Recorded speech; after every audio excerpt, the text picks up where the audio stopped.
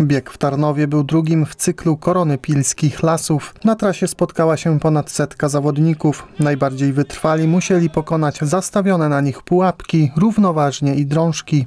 Generalnie rzecz biorąc jest to dyscyplina no taka mocno, jak to niektórzy mówią, hardkorowa dla niektórych, ale są też łatwiejsze trasy i dla dzieci, i dla y, mniej zaangażowanych.